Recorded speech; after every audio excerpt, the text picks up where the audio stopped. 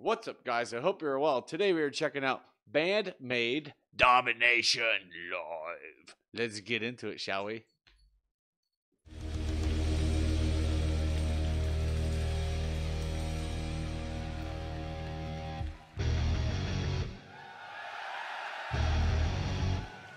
Hello,